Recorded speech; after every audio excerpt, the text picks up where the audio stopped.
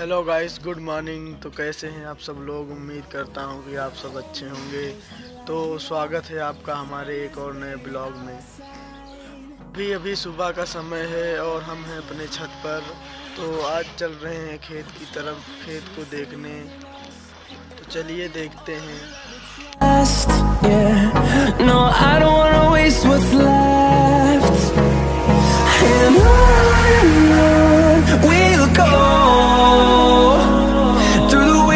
Through the highways, till my shadow turns to sun rays. And on and on we'll go through the wastelands, through the highways, and on and on we'll go.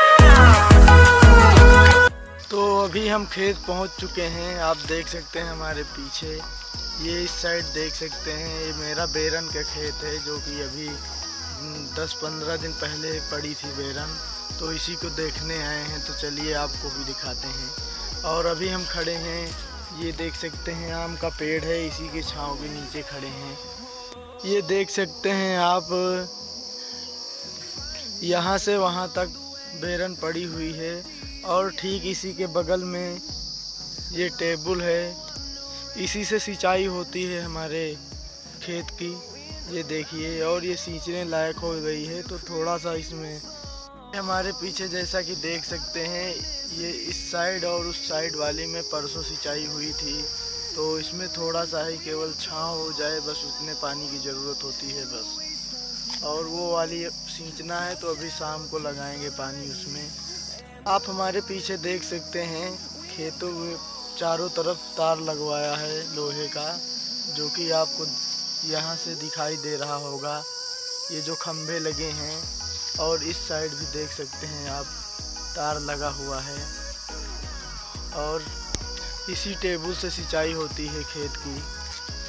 इस बेरन को इतनी बड़ी होने में 10 से 15 दिन का वक्त लग गया है, और अब इसमें दवाई पड़ेगी तो उसके बाद 15 से 20 दिन और लगेंगे तो ये पूरी तैयार हो जाएगी, फिर इसकी कटाई होगी तो फिर खेतों में इसे लगाया जाता है। तो लगभग एक से डेढ़ महीने में बेरन तैयार होती है। बेरन को तैयार होने में इतना वक्त लगता है। और अब जैसा कि ये इतनी बड़ी हो गई है तो इसमें दवा डाली जाती है तो इससे लंबाई बढ़ती है बेरन की। तो चलिए अब घर चलते हैं।